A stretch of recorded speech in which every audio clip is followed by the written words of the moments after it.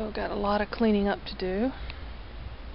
I'd like to make a pathway going up this way in front of the tea plants, the camellias. We lost one. Very first one down here. So this one's dead.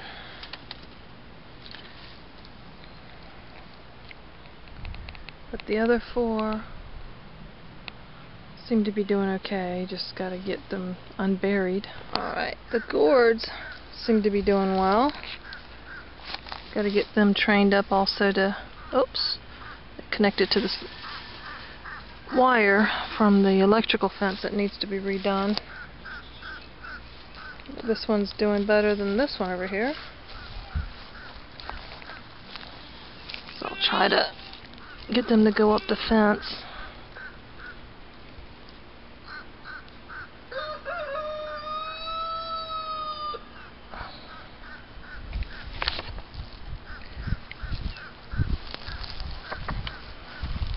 They look comfy, don't they?